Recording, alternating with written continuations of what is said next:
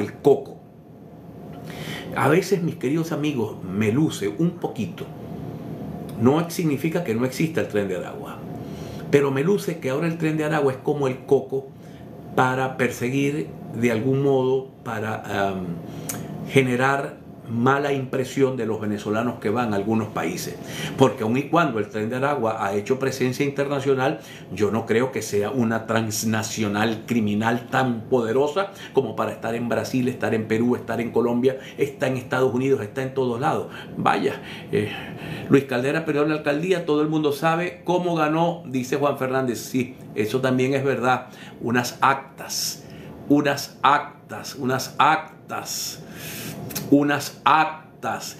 Pablo, este gobierno sale con votos, no hay otra manera, solo unidos lo sacamos. Pablo, mejor dicho, ya tenemos otro gobernador en el Zulia, Jesús Rivero, el gobierno está como la música de la fantasía, quítate tú para ponerme yo. En España, ¿qué pasó con el tema Guyana? Se le acabó la gasolina al camión de Maduro. Bueno, ha sido acusado hace unos días atrás de una movilización militar a la frontera eh, con Guyana y eh, el, gobierno dice que tiene una presencia no hostil en Guyana. Luis Caldera perdió la, alcaldía, muchas necesidades en la calle, dice Néstor Hidalgo, anunciará el aumento de sueldos a partir de marzo.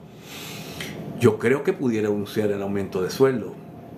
Eh, se aguantó todo el año pasado y creo que, que pudiera venir. Juan Carlos, en Mara no toman en cuenta a los habitantes del sector La Rosita vía las playas. Yo también creo que es solo publicidad el tren de Aragua, dice Sechivero. Mulpi, qué raro que Maduro no diga que Estados Unidos se robó el avión.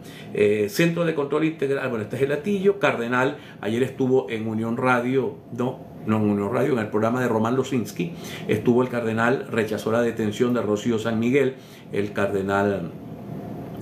Eh, nuestro, uno de los dos cardenales que tiene Venezuela, pero es el único que tiene edad para votar en el Consejo Cardenalicio, que es Baltasar Porra.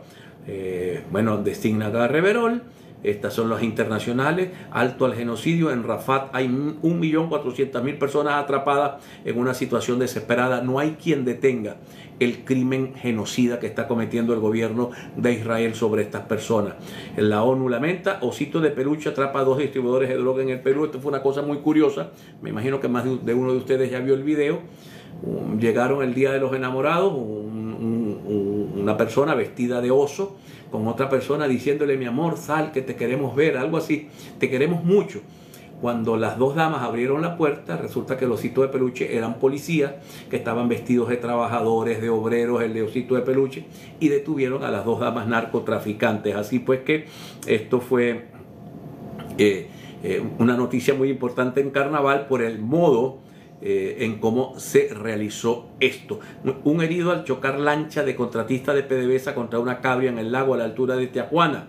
Eh, bueno, seguimos en deporte. 28 criollos figuran eh, para el Opening Day de la mayor liga de béisbol. el Zulia se posiciona como referente turístico internacional, dice esta nota. Yo no creo de verdad que el Zulia se esté posicionando como ningún referente turístico internacional. Eh, creo que eh, el Zulia tiene muy pocas posibilidades porque no tiene instalaciones. O sea, ¿cuáles son nuestras playas? Las mejores playas del Zulia, yo que estoy en el Zulia, y ustedes están muchos en muchos lugares, pero son muchos zulianos, las mejores playas del Zulia son las playas de La Guajira Allí no hay ninguna instalación. Son tan bonitas como la de Aruba. Eh, pero no hay nada. Luego, las segundas mejores playas del Zulia, en mi opinión, son la bahía de San Carlos. Allí hay muy pocas instalaciones. unos tumbaderos que tú puedes alquilar allí en la orilla de la bahía, pero las posadas no sirven para nada, los restaurantes son, no son buenos, no hay un estímulo a la inversión en esa playa. Luego viene Caimarechico. Caimarechico de este lado que es eh, puro, puro rancho, no hay instalaciones de ningún tipo, las instalaciones que habían allí las abandonaron, te vas para Miranda, Punta El Vigía y esa zona eh, muy, muy deficiente, las mismas playitas con los mismos ranchos de toda la vida, no hay cambio, no hay inversión. Eh, si nos vamos para Sucre, quizás son las playas de Sucre también muy visitadas por los merideños. Bueno, quizás ahí hay un poco de mejores instalaciones en las playas de Bobures, se consigue algo más.